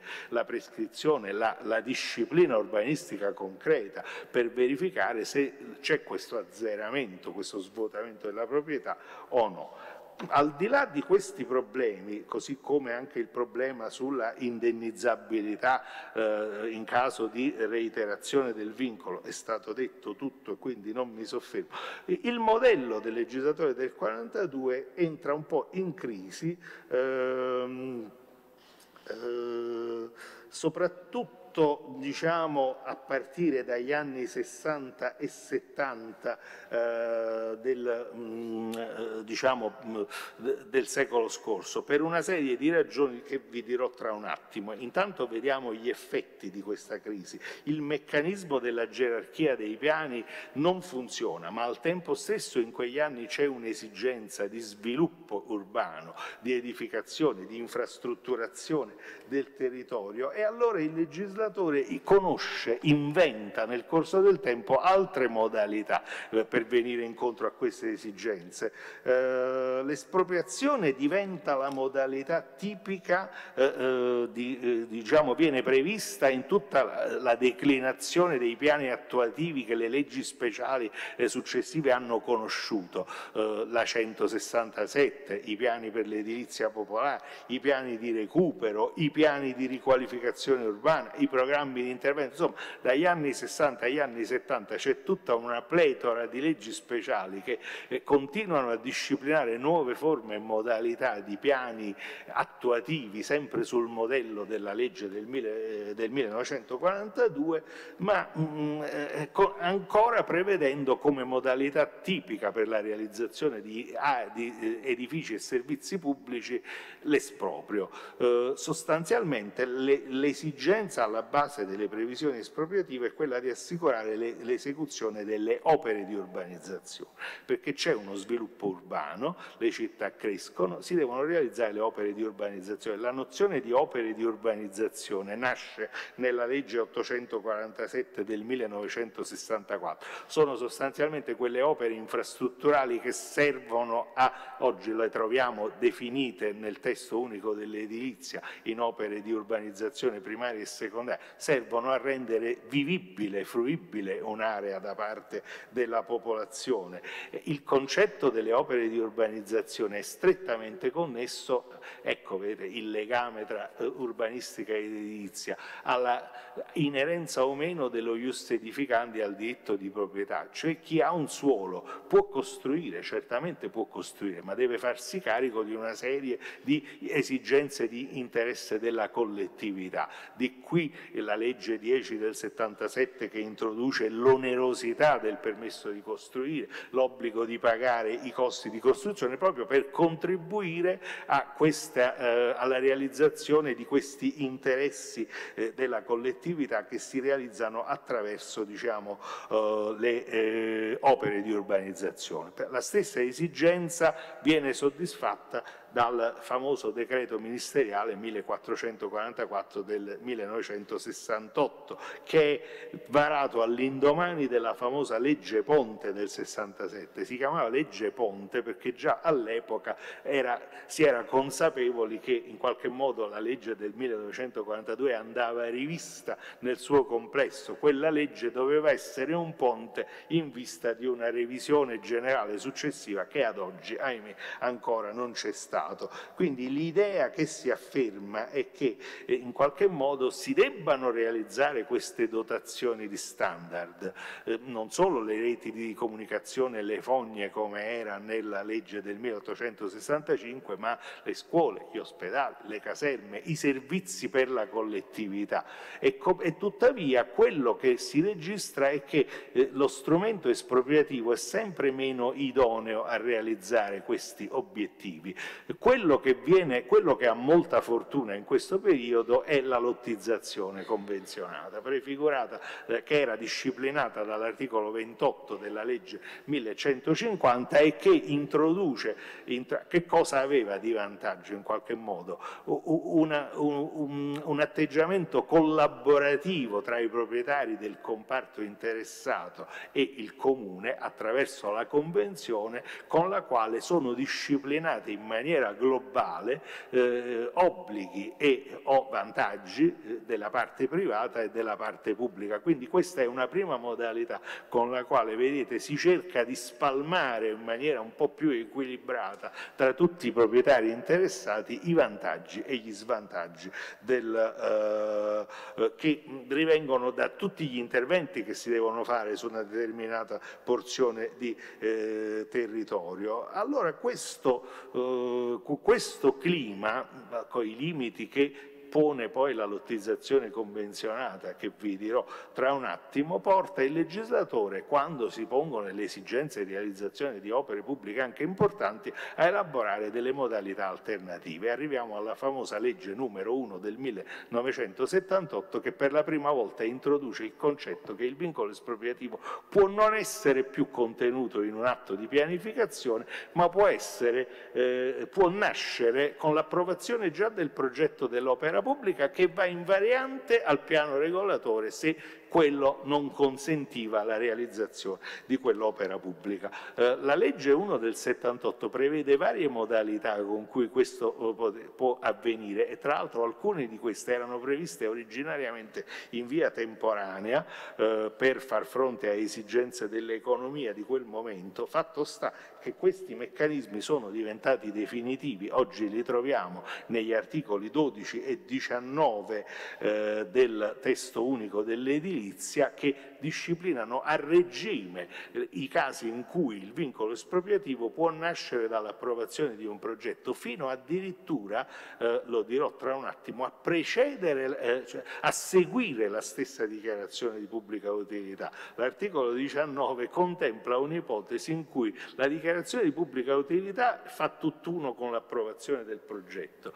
eh, ma può rimanere sospesa nella sua efficacia se nel frattempo non c'è stata la variante urbanistica che ha fatto nascere il vincolo espropriativo, quindi addirittura quell'ordine tradizionale, vincolo, dichiarazione di pubblica utilità, partecipazione, esproprio, viene in qualche modo stravolto. Eh,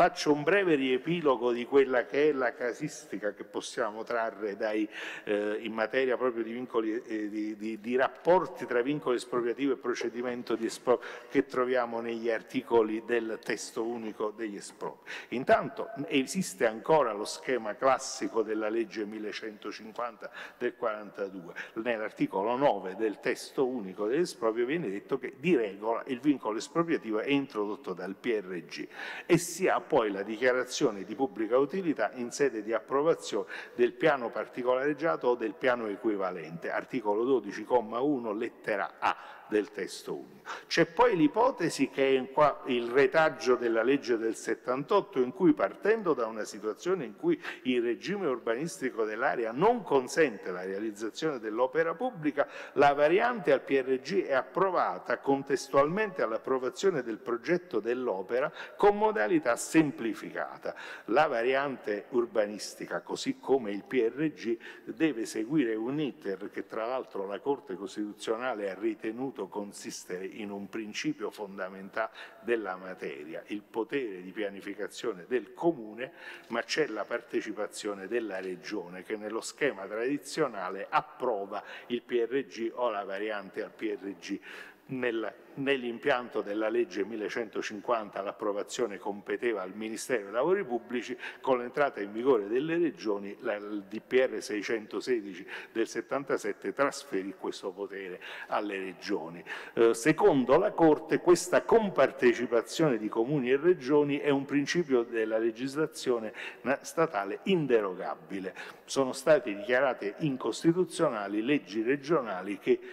sostanzialmente sterilizzavano l'intervento della regione, eh, dicendo il comune fa tutto da solo, il piano o la variante, non è costituzionale. Eh, la regione può al limite delegare altro ente, la provincia in molti casi avviene in molte leggi regionali, ma la doppia partecipazione è necessaria. E tornando all'ipotesi di variante semplificata dell'articolo 19 del testo unico dell'edilizia, viene previsto che l'approvazione del progetto preliminare dell'opera opera pubblica equivale a adozione della variante, che dovrà essere poi approvata dal Consiglio Comunale. Viene previsto poi una forma di silenzio-assenso della Regione perché l'articolo 19 dice che l'atto di approvazione del Consiglio Comunale viene trasmesso alla Regione, non è necessario diciamo,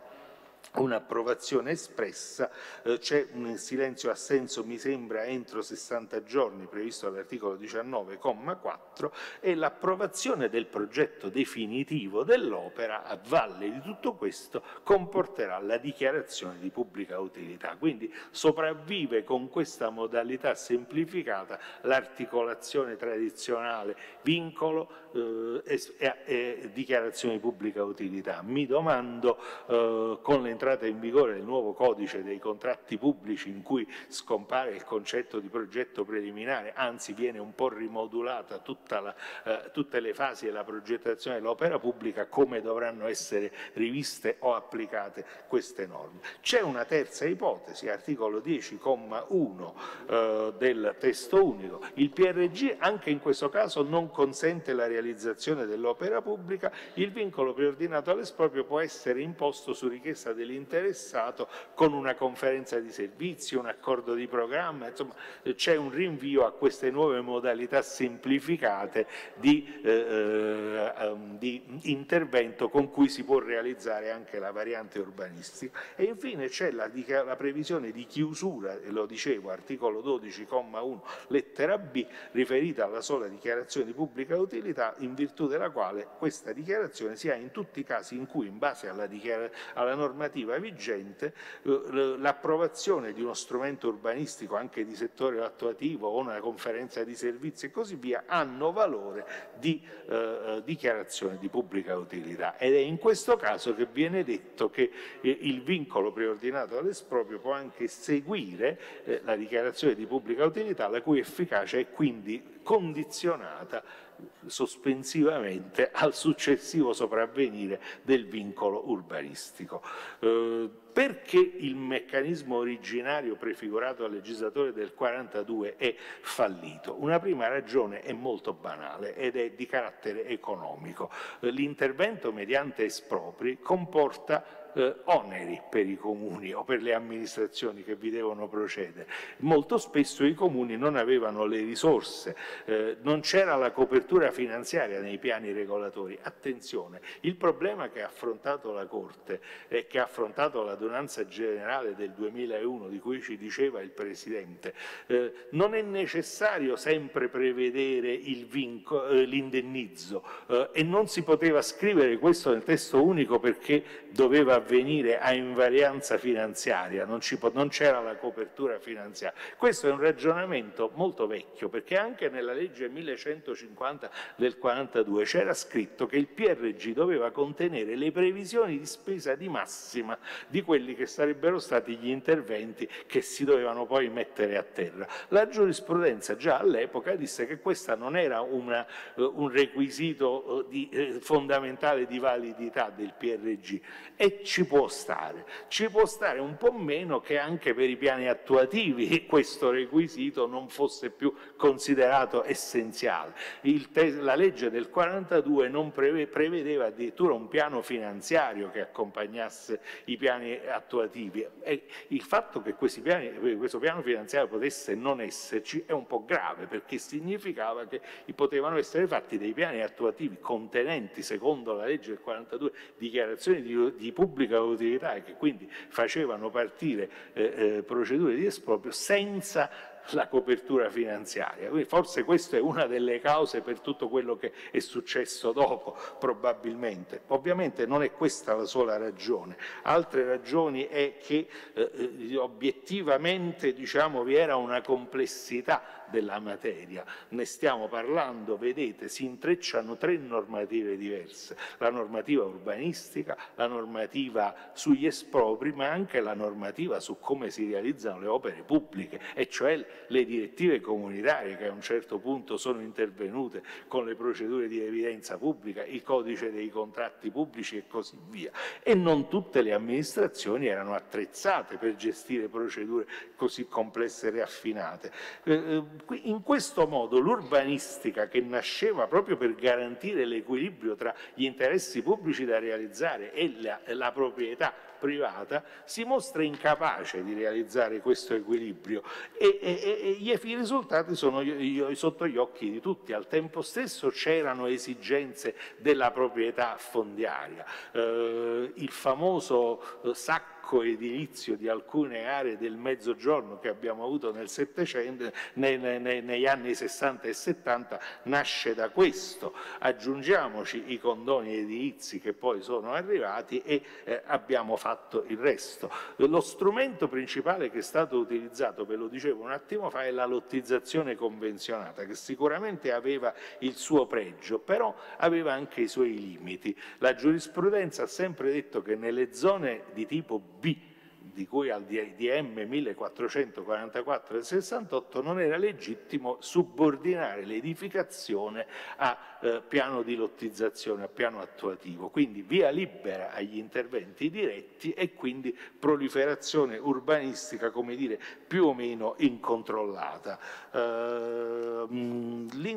l'insorgere poi di eh, esigenze di finanza pubblica ha portato ai condoni, perché i condoni nascono per fare cassa, non per avvantaggiare diciamo, gli abusivisti. In questo panorama mi piace citare un passaggio proprio di quella adunanza generale del Consiglio di Stato del 2001 che eh, al di là di quello che ci ha detto il Presidente Marutti era molto lungimirante già a quell'epoca perché il Consiglio di Stato a un certo punto prefigura la perequazione e dice che forse per ovviare a questi problemi e, e alle sperequazioni che nascono dal, dal, ehm, come dire, dal, eh, intrinsecamente dal diritto urbanistico, si potrebbe prevedere, dice il Consiglio di Stato, che all'interno di un più o meno ampio comparto destinato all'edificazione tutti i proprietari siano tendenzialmente trattati allo stesso modo. La parità di trattamento andrebbe conseguita con meccanismi compensativi tali da evitare che alcuni costruiscano sulle aree resi edificabili dall'autorità urbanistica, altri subiscano irrazionali discriminazioni, non solo perché dopo aver subito il vincolo preordinato all'esproprio siano poi espropriati, ma anche perché l'indennità è corrisposta in misura inferiore al valore venale. Quindi il Consiglio di Stato nel 2001 ovviamente non lo poteva fare perché stava realizzando un, uh, dire, un testo unico della normativa vigente fino a quel momento, indicava anche una possibile soluzione. Eh, il legislatore eh, eh statale negli anni successivi non è che si sia mosso proprio benissimo,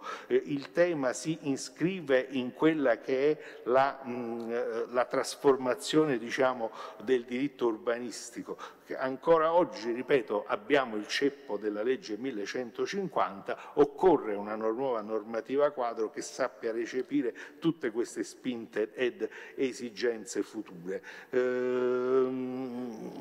in alcune delle più avanzate esperienze regionali queste proposte sono state tradotte anche sul piano legislativo, però il, il quadro normativo è ancora molto organico e frammentato.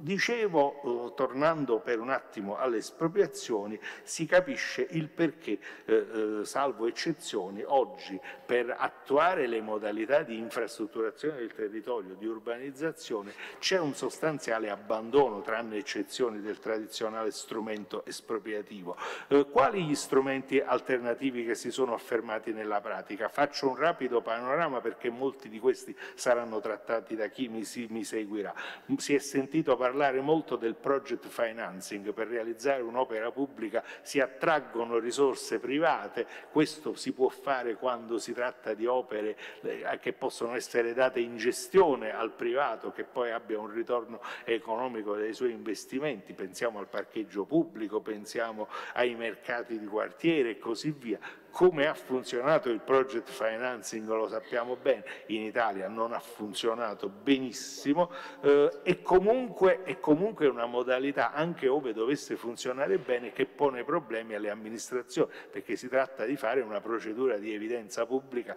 nel rispetto delle direttive europee, ripeto non tutti i comuni sono attrezzati per essere anche stazioni appaltanti. Eh, non è qui il caso di addentrarci troppo sugli strumenti della perequazione urbanistica, della compensazione, sono eh, eh, istituti di cui parlerà chi mi seguirà. Certo qui si apre un dibattito che non riguarda più neanche solo il diritto amministrativo, ma anche il diritto civile, perché il tema è quello della circolazione dei diritti edificatori, della cessione di cubatura. Il problema è giunto all'attenzione del legislatore per due ragioni, perché le leggi regionali hanno fatto delle fughe in avanti prima che intervenisse il legislatore nazionale, che è intervenuto ma in maniera probabilmente ancora insoddisfacente, ce lo dirà il professor Perongini, e poi perché in alcune esperienze di pianificazione, e torno a ricordare il caso del nuovo piano regolatore di Roma, e questi strumenti di perequazione erano stati declinati in maniera anche molto interessante, non più limitata al singolo comparto, ma un po' su tutto il territorio comunale e questo evidentemente poneva altri problemi. Mi piace dire qualche parola proprio prima di concludere, mi avvio veramente alle conclusioni, su un altro strumento di cui si sente parlare sempre di più ultimamente, la rigenerazione urbana. Forse avrete sentito questa formula che è diventata un po' una formula magica che troviamo in quasi tutte le ultime leggi abbiamo, ehm, eh, di cui abbiamo contezza. Questa è molto usata dalle scienze ambientali,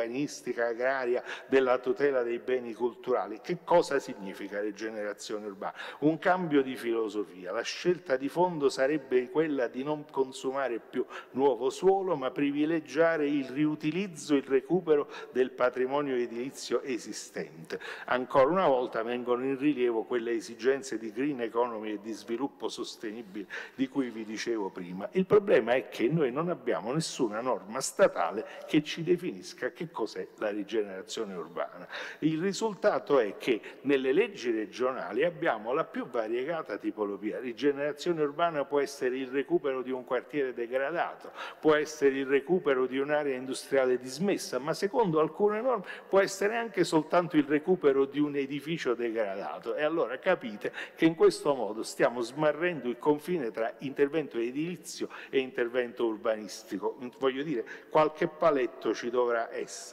Eh, sostanzialmente si rischia di svuotare di contenuto le nozioni di ristrutturazione edilizia, cioè tutti gli interventi sull'edificio preesistente o secondo quello che è lo schema di nuovo testo unico dell'edilizia che probabilmente non entrerà mai in vigore, elaborato dal Consiglio Superiore dei Lavori Pubblici, di sostituzione edilizia. Era stata introdotta questa categoria intermedia nell'idea di riuscire anche a risolvere tutti quei problemi, aumento di volumetria, di diversa superficie, diversa saco e prospetti che chi si occupa di queste eh, questioni diciamo, nelle nostre aule di giustizia conosce quasi quotidianamente. Ora, quello che ci interessa in questo, in questo contesto è che proprio perché manca una disciplina della rigenerazione urbana, anche chi voglia, anche quei comuni eh, virtuosi che vogliano privilegiare il recupero dell'esistente non sanno come fare, e allora delle, cioè le modalità, e allora delle due l'una.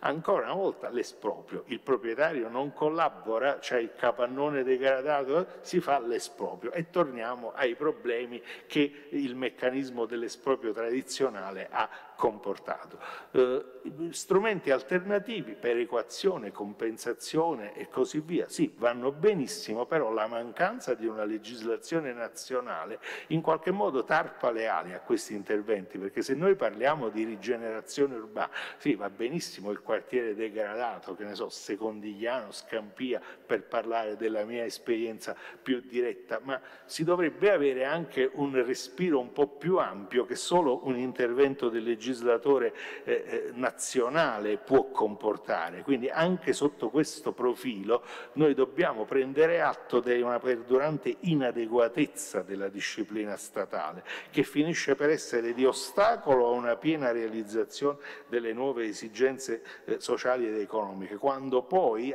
non si ponga addirittura in antitesi con esse. Eh, i teorici della rigenerazione urbana hanno criticato molto l'intervento del decreto sblocca cantieri del 2019 sull'articolo 2 bis che eh,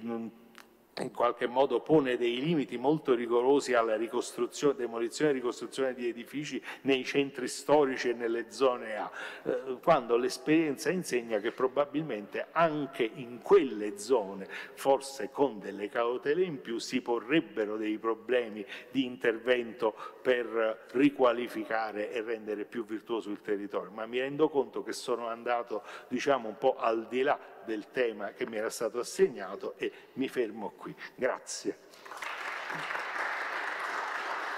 Grazie al Presidente Greco. Un'osservazione del Presidente Durante.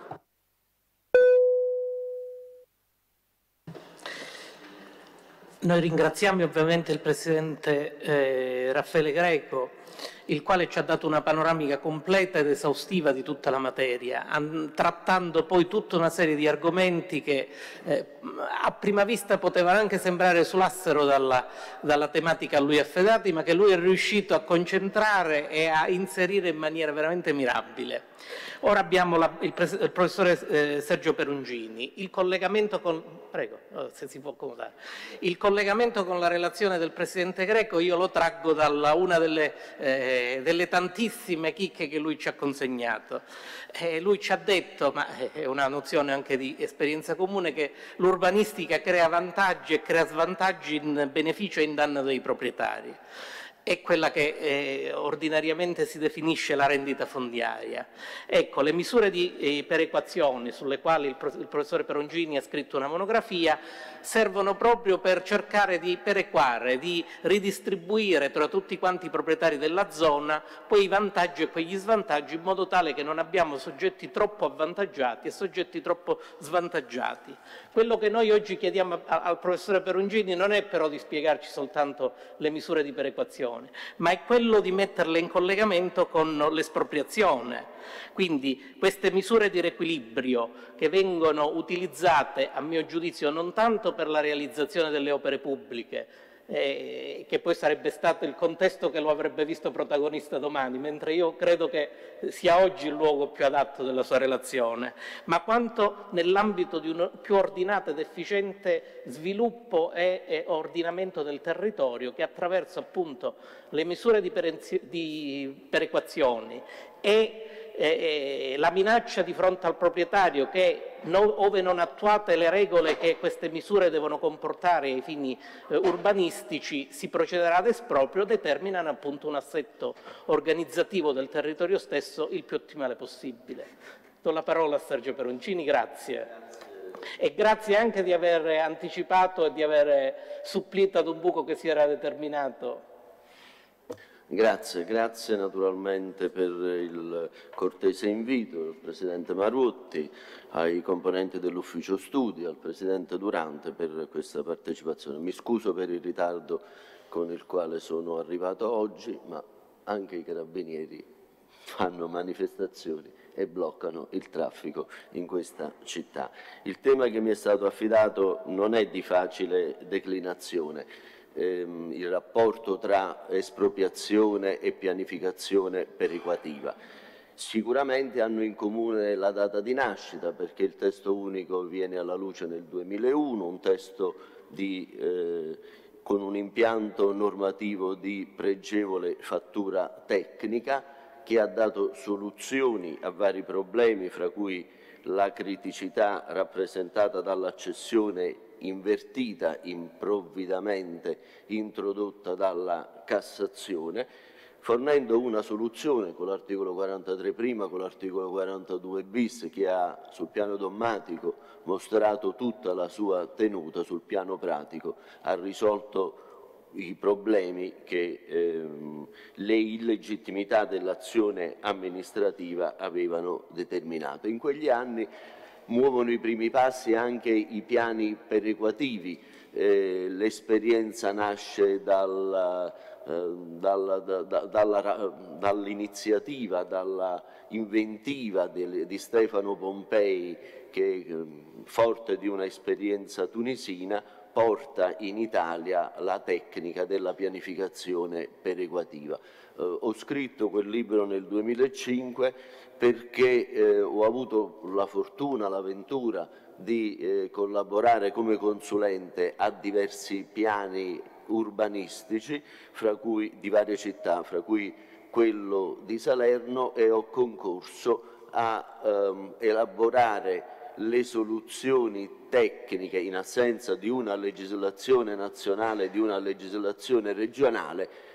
ehm, le soluzioni tecniche che man mano si ponevano, il comparto continuo e il comparto discontinuo, i subcomparti, i consorzi che deliberano a maggioranza, sono tutte soluzioni inventate dai pianificatori per neutralizzare il, il dissenso. Eh, l'intento dichiarato della perequazione mh, urbanistica è quello di abbattere la conflittualità eh, nei processi di pianificazione, di ridurre se non proprio eliminare il ricorso alla espropriazione e eh, di introdurre elementi vistosi di consensualità, di accordo nell'azione nell di pianificazione urbanistica. Mi soffermerei su questi tre aspetti, partendo innanzitutto dalla verifica se eh, la pianificazione perequativa abbia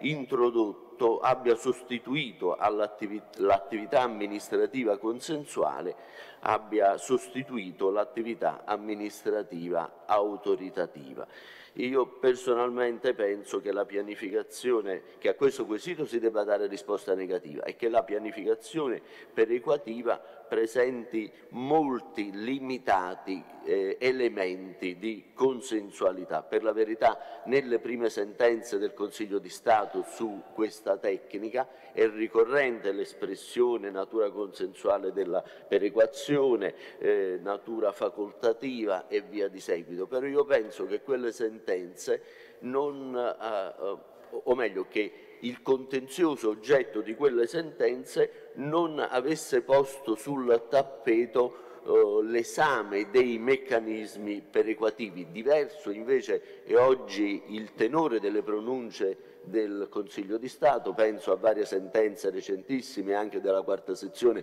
del Consiglio di Stato, nelle quali si riconosce che la um, perequazione è riconducibile alla potestà conformativa della, conformativa della pubblica amministrazione e si sottolinea la necessità che ci sia un onere motivazionale rinforzato lì dove si decide se sottoporre o non sottoporre un'area a perequazione. Ecco, proprio in questo modo credo che ci sia eh, la dimostrazione della piena consapevolezza da parte del giudice amministrativo della natura autoritativa sottesa ai processi di pianificazione perequativa. Il fatto è che la perequazione non avviene sulla scorta della iniziativa del singolo individuo, del singolo proprietario. L'attuazione dei processi di pianificazione perequativa avviene per pezzi di città, per intere aree di trasformazione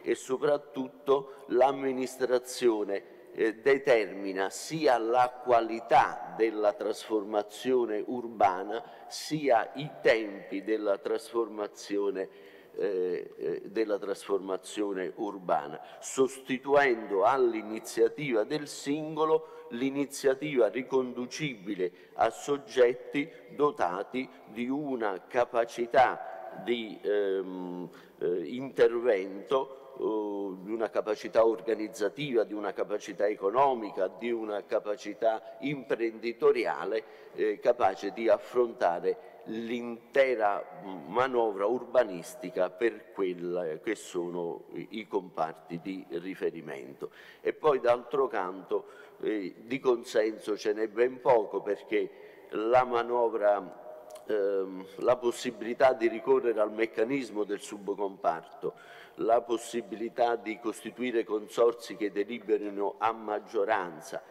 e la contestuale apposizione del vincolo preordinato all'esproprio ehm, e della dichiarazione di pubblica utilità che molte leggi regionali riconducono all'approvazione del eh, piano comunale e dei piani attuativi dalla prova dell'assenza di consenso. È come se l'amministrazione dicesse questo è il progetto o aderisci a questo progetto o altrimenti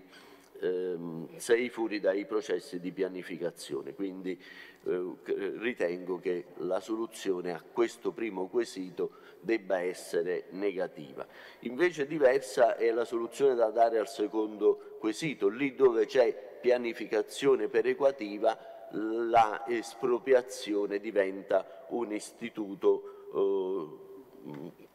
recessivo. Um, ora, eh, pianificazione perequativa, compensazione, sono eh, nozioni eh, abbastanza chiare, il giudice amministrativo nelle sue sentenze, anche recentissime, ne ha messo in evidenza le caratteristiche, la perequazione come distribuzione equa, la compensazione come remunerazione sono riconducibili a un unico principio, ma l'omogeneità, l'uniformità finisce là, perché sia per il riparto di competenze tra, tra legislatore nazionale e legislatore regionale, sia perché il potere di pianificazione compete alle amministrazioni comunali, questo principio è declinato in maniera specifica ed autonoma da ogni legge regionale. In ogni legge regionale troveremo dei modelli diversi di eh, pianificazione perequativa. Nella esperienza dei comuni troveremo tecniche diverse di eh, pianificazione perequativa. Quindi eh, occorre fare riferimento a quella che è la specifica declinazione eh, sotto il profilo tecnico del principio di ordine generale.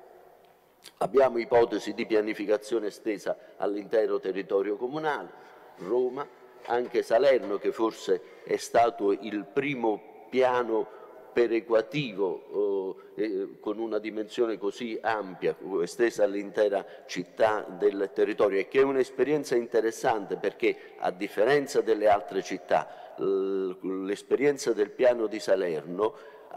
dimostra come l'utilizzo di una tecnica particolare, la tecnica perequativa, abbia consentito di elaborare uno sviluppo della città più elegante, più raffinato, più attento alle esigenze eh, dell'intera collettività, non trascurando neppure le estreme periferie, cose che in altre città, nella stessa città di Roma, diciamo, non credo sia, sia avvenuto. Quindi la considerazione di ordine generale è che quando dobbiamo, oh, abbiamo a che fare per, con interventi per realizzare opere pubbliche, eh, lo strumento perequativo dimostra eh, di essere uno strumento alternativo all'espropriazione. Questo però non significa che sia venuto meno eh, la tecnica dell'espropriazione che, che, ritorna, che ritorna in, varie, in, vari settori. Innanzitutto eh, l'espropriazione ritorna quando dopo l'approvazione del piano sopraggiungano esigenze diverse ed ulteriori eh, di eh, realizzare opere pubbliche. Gli esempi che si sono avuti in questi, in questi ultimi anni sono quelli della realizzazione di un ospedale, per esempio, che, diventa, che eh, per esigenze impreviste ed imprevedibili determina la sovrapposizione rispetto alla disciplina approvata nel piano di una nuova opera pubblica. Allora, in questo caso, l'espropriazione diventa, ritorna ad essere strumento ineludibile. Perché? Perché una delle caratteristiche del piano perequativo è rappresentata dal pieno rispetto del bilancio di piano, vale a dire del del, dell'equilibrio tra eh, urbanizzazioni nuove tra ehm, nuove realizzazioni eh, edilizie e eh, le urbanizzazioni, gli standard, il, il, sottoporre nuove aree alla tecnica perequativa e, e determinare che nuove aree generino diritti edificatori non ricompresi nel bilancio di piano, estranei al bilancio di piano, determina necessariamente il, la, ne, insomma, la, la, necessità di utilizzare eh, il meccanismo espropriativo ehm, e, e, e, questo il, il fatto che si debba rispettare il bilancio di piano non si possano alterare quegli equilibri fa capire che non solo è difficile e impossibile utilizzare la tecnica perequativa, ma diventa anche eh, difficile ricorrere alla compensazione. E poi l'espropriazione ritorna in tutte quelle ipotesi in cui la pianificazione perequativa non ha dato un buon risultato. Per esempio è capitato per alcuni interventi eh, relativi all'edilizia residenziale pubblica.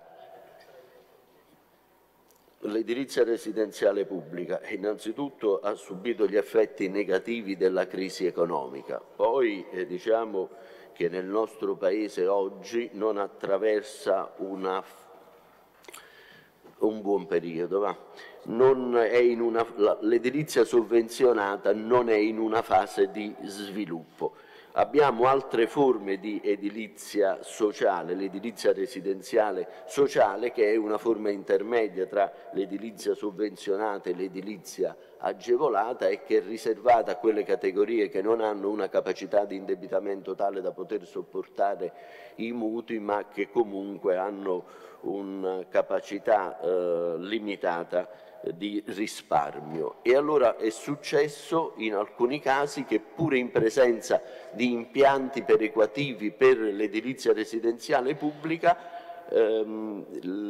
l'operazione non si è giunta a, a, a buon fine con la conseguenza che i proprietari hanno ritenuto opportuno ricorrere, farsi espropriare piuttosto che trovare un consenso su questo oh, profilo e, e, e quindi ehm, diciamo, l'insuccesso della manovra urbanistica perequativa eh, riporta alla luce la tecnica della espropriazione. Poi ci sono alcune situazioni in cui la tecnica dell'espropriazione, della, della perequazione non viene proprio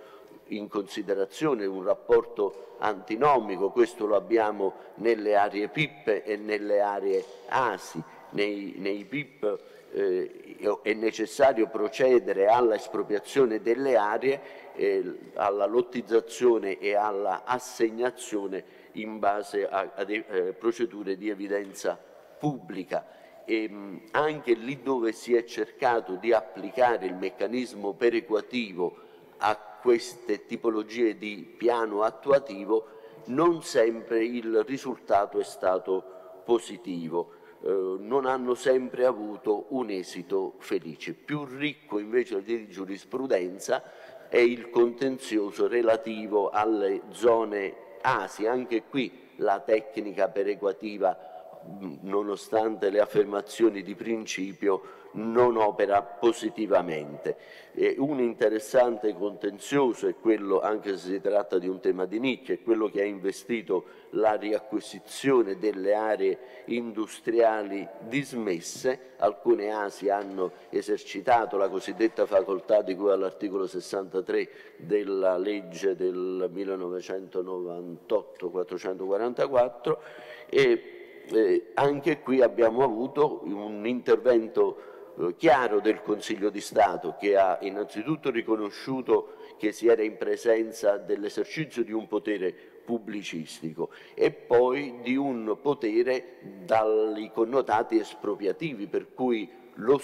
l'articolo 5, l'articolo 63 ha dovuto fare i conti con quello che è lo statuto ordinamentale dei procedimenti espropriativi, con la conseguenza di dover integrare l'impianto normativo scarno dell'articolo 63 con le disposizioni della 241 e del DPR 327 del 2001, richiedendo in numerose sentenze l'apposizione del vincolo preordinato all'esproprio, la dichiarazione di pubblica utilità e poi la riacquisizione del bene il, da parte dei consorsi ASI. E proprio in tema di ASI le sentenze del Consiglio di Stato si, insomma, vanno studiate perché oltre alla risoluzione dei casi specifici offrono una visione sistematica dell'intera materia. Hanno affrontato varie questioni, per esempio quella della inclusione o meno di un suolo nell'ambito dell'area ASI, il tema della scadenza dei vincoli preordinati all'esproprio con conseguente decorso dei termini di efficacia dei piani ASI, la sorte dei vincoli scaduti, eh,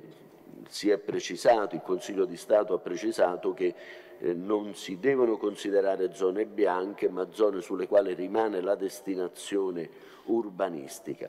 E alcune sentenze hanno affrontato anche l'interessante tema della costituzionalità e incostituzionalità di quelle leggi regionali che in vario modo, eh, attraverso il rinvio dinamico dei PTCR e dei PTCP ai piani regolatori ASI,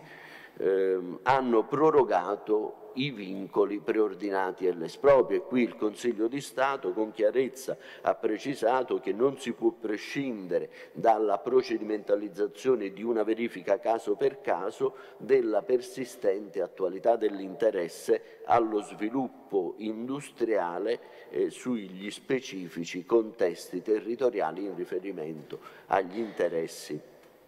dei dei, dei, dei singoli proprietari. Nei, nelle, nei, nei, comuni, nelle realtà dove la tecnica perequativa non eh, è stata applicata in maniera generalizzata ma è stata limitata a singole specifiche aree di trasformazione urbana, la figura dell'espropriazione diventa strumento fondamentale per tutti gli interventi che esulano da quella parte relativa alla, alla manovra urbanistica perequativa. L'ultimo problema al quale vorrei però accennare in estrema sintesi per non occupare più spazio di quello che mi compete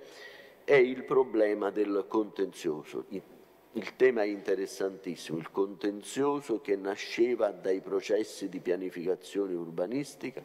che si sviluppava non solo in sede amministrativa ma anche in sede penale, rilevantissimo, è sicuramente ridotto, ma ha, non c'è soltanto una riduzione della quantità del contenzioso, ma anche della qualità, perché attraverso eh,